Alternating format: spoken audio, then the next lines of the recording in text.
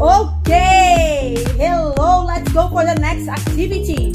And from the next one, we're going to need bottles and a stuffed animal or any kind of toy that you want to use on that activity, okay?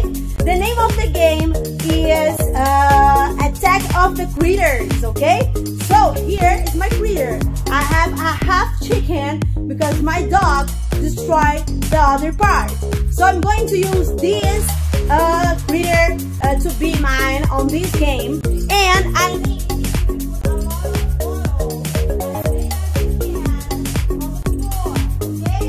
not side by side uh, to make things more difficult, okay?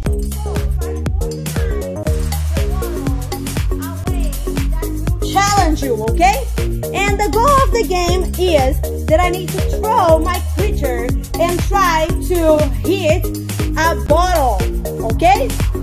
And I'm going to count one minute and see how many bottles I was able to hit with my creature, okay? Just only count a point when uh, when the bottle fell down, okay? Then when the bottle fell down, I run to the bottle, take the bottle away and put outside of the game, okay? Let's see.